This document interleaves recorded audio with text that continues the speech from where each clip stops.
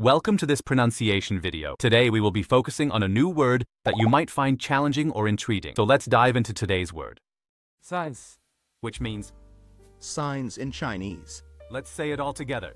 signs, signs, signs, One more time.